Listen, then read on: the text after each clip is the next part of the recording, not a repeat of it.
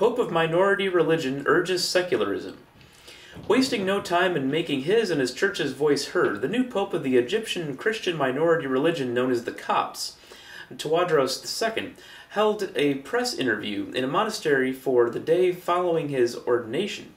The Coptic pontiff urged Christians and minority Muslims to stand their ground as the nation's new constitution is drafted, and not to allow the majority Islamists to impose their religion into the legal process. The beauty of Egyptian society is the presence of Muslims beside Christians. Diversity is strong and beautiful, said the new pope.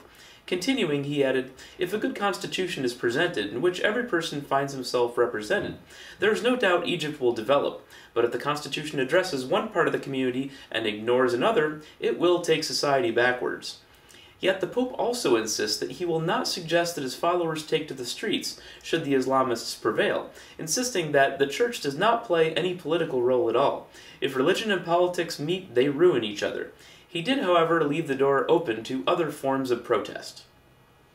Embarrassed, China attempts to halt Tibetan self immolation by use of force. China has tried almost everything to stop Tibetans from setting themselves on fire in protest. They've tried propaganda, persuasion, and even money, all without success. In just one week last month, seven Tibetans set themselves ablaze in protest of China's expulsion of the Dalai Lama. In advance of the Communist Party Congress, the Chinese will use police forces armed with riot gear, fire extinguishers, and checkpoints to quell any protest activity. Even the mere spreading of news concerning immolations can now end in arrest.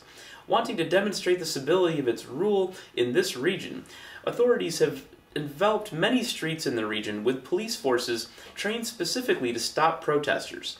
Notices have been placed around common immolation sites, offering $8,000 for information on the scheming, planning, and instigation of such acts.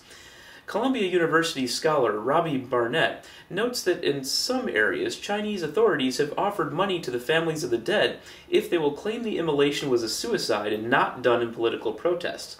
Further efforts to instill Chinese values in Tibetan society include patriotic education in schools and monasteries, forcing residents to study communist theory. All such actions have been met with resistance from the Tibetans, who continue to resent Chinese rule. Not willing to back down an inch, the Chinese also accuse the Dalai Lama himself of plotting Tibetan immolations from his exiled location. The immolations have continued to increase, with six more Tibetans setting themselves on fire just as the Communist Party Congress opened in Beijing this past Friday. Nakoula Basseley Nakoula goes to jail. Ever heard of Nakoula Basseley Nakoula? He is better known as Mark Basseley Youssef, the man responsible for the Innocence of Muslims movie. Youssef had just been found guilty of violating parole and sentenced to one year in prison. He had pleaded guilty to four different charges, all involving his use of his two names. Nakoula Youssef had also used the alias Sam Bacile to produce his movie.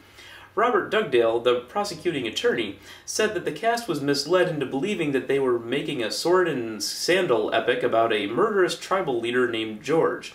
Once they were done filming, their voices were crudely dubbed over, and George became Prophet Muhammad. Four probation violation charges were dropped as part of a deal with the accused. They were all linked to the making of the movie. Judge Christina Snyder refused to allow home confinement instead of prison, saying that Nakoula had, quote, struck a deal far more favorable than he might have otherwise suffered.